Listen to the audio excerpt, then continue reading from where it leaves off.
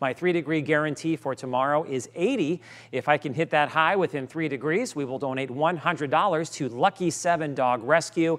And we did that today. I forecast 78, and the high temperature was in the upper 70s. So here's a look at Wednesday. Lots of sunshine, 82 degrees. High school football Thursday. Right now, it looks pretty nice. There's a very slight chance for a shower as we head into the evening. Temperatures will be